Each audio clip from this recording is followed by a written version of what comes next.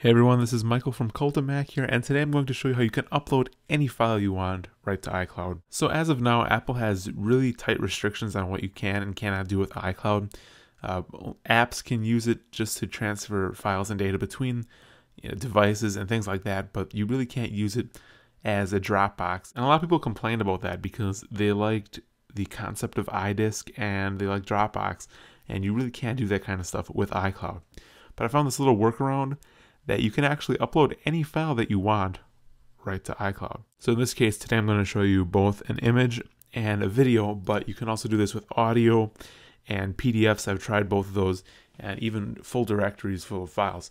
So really any file you want will work. It's a little more in depth than if you just transfer something to Dropbox, but if you just like using iCloud, it's a really handy way that I'll show you today.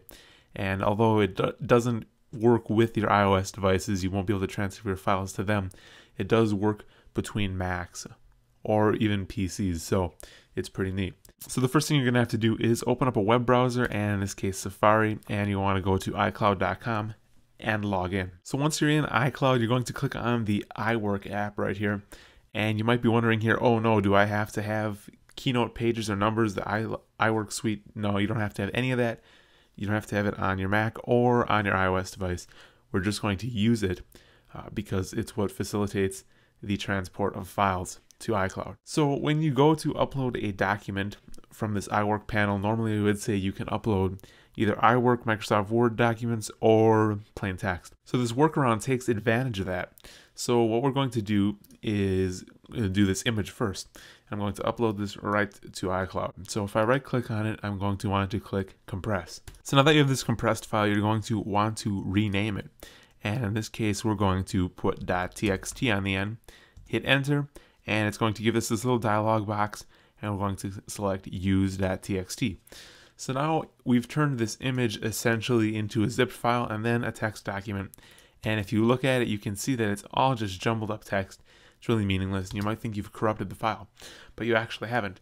And this is where iCloud comes in. I can go back over to Safari here, and I can hit this little gear icon in the corner, hit upload document, and from there, I'm going to look on my desktop, and right there is the file. You can see it's plain text. You can hit choose, and since it identifies it as text, it will upload it right to iCloud. There it is in my documents. Now this will also show up on pages for iOS if you have it, but you won't be able to do anything with it there. If you open it, it'll give you an error. So what you can do though is if you log in to any other computer and you go to iCloud.com, you'll be able to see this in here. And this is where it acts like a Dropbox because I can select this file. I can hit download and hit text. It's going to download it. It's only going to take a couple seconds here. And now I'll be able to go into the Finder, go to my downloads folder, and here you can see that same file as I've just downloaded off iCloud. Now all I have to do is rename it back to what it was. So if I take off the .txt, hit use.zip, and all I have to do is unzip the file, and you can see there's my image. So it's a little bit of a workaround, and it's a little bit messy, but essentially you've just used iCloud as a Dropbox, and I think it works pretty neat. So to show you how you can do this with more than just images, I'm also going to show you this movie here, and uh, it works pretty well as well. So once again, I just compress it, and add .txt to the end and we'll upload it and I'll show you exactly how it turns out.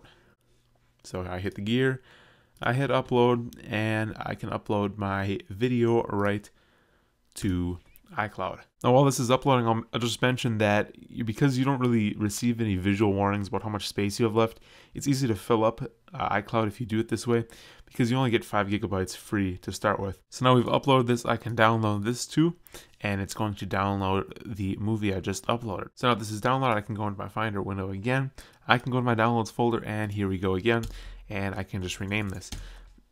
So this would be really nice if you just uploaded a entire directory full of files as you wouldn't have to do this for every file and it still works the same. And you can see it works. So you can see that it actually did work and I just transferred a video over iCloud. So that's how you can upload any document to iCloud and use it as a Dropbox. And I think it's really neat. So if there's anything that you'd like to see me do a how-to on, make sure to send me an email.